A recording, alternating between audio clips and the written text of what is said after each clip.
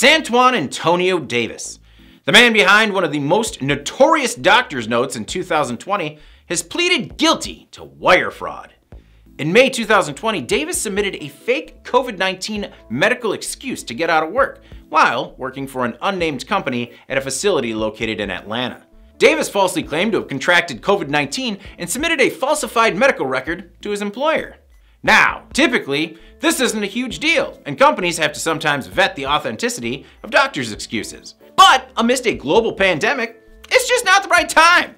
And once you are exposed, past poor behaviors sometimes come to light. Concerned for its employees and customers, the company closed for cleaning, paid its employees during the shutdown, and lost more than $100,000 in the process.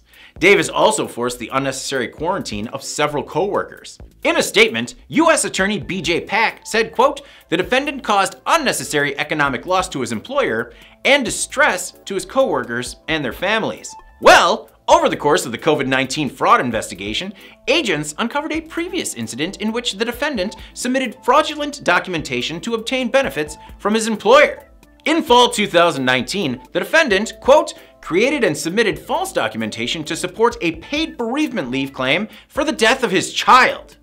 This child never existed and was fabricated so that the defendant could obtain benefits to which he was not entitled. He faked the death of a child. Well, at least it wasn't real, right? Finally, while on pretrial release in the original COVID 19 case, the defendant submitted a mortgage application with numerous fraudulent statements, including a falsified earnings and employment history.